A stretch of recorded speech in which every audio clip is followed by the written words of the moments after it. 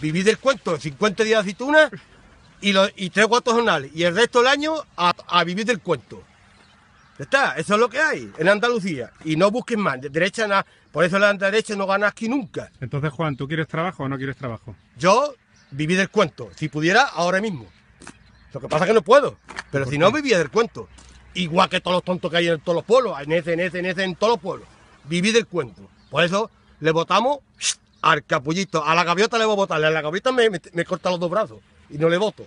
Sí, sí, graba, graba lo que quiera. Pero que eso es lo que hay en Andalucía.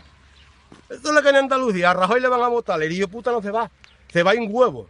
¿Tú no viste cuando Aznar intentó sanear lo del desempleo de Andalucía? La pila de manifestaciones que fueron a Madrid.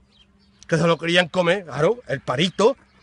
500 y pico euros todos los meses. 500 yo y 500 mi mujer, 1000 euros. Ya gana, está ahora de estar aguantando un mes en tu finca o en la otra finca o en la otra finca.